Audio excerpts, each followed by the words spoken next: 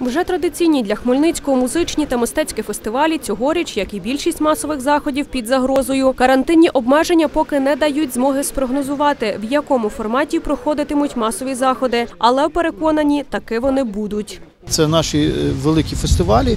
Е, Фестиваль е, Рок-н-Бух традиційний, фестиваль джазовий, який минулого року не відбувся. Звичайно, що мав в цьому році і проходити фестиваль Глушенков Фолькфест. Це наш фестиваль народної хореографії. Ну але враховуючи те, що останній раз ми провели в такому в масштабі е, світовому цей фестиваль, тому ми е, призупинили цей фестиваль і перенесемо його на наступний рік, оскільки залучення іноземних груп, я думаю, будуть неможливі в цьому році. Навряд чи знову ж таки ми зможемо провести в звичному форматі, скажімо, в парку молодіжному наш фестиваль Рокенбух, де кожного дня було 10-15 тисяч відвідувачів.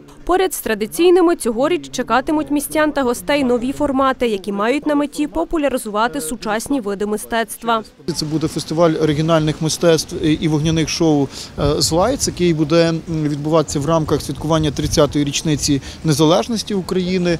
А, ну, побачимо на сьогодні громадська організація, яка е, опікується цим фестивалем.